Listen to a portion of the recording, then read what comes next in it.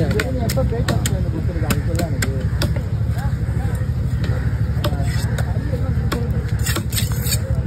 சீக்கிரம் கூட்டிட்டு வர சங்கராக